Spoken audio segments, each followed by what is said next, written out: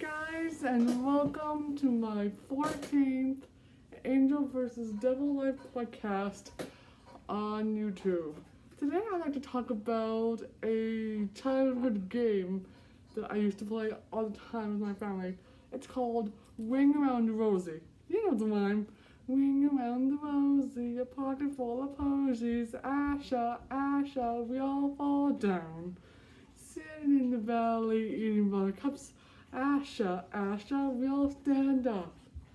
Now I know what you're thinking. Wait, Asha, Asha? Isn't it Ashes, Ashes? Okay, I admit that maybe the television shows and the YouTube videos and probably movies that I watch or seen had ashes, ashes, but guess what? I'm saying it as how I say it. You could say it how you remember it, but I'm going to say it as I remember it. Now I know what you're thinking, but it isn't ashes, but it isn't Asha Asha, it's ashes ashes.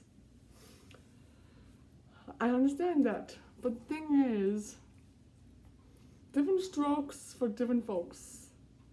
And if you remember it being ashes ashes, then you can say it as ashes ashes.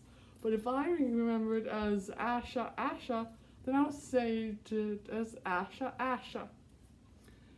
And I know, I know that it is a spooky game that's all about the plague that invaded England a long time ago. But I didn't remember it like that.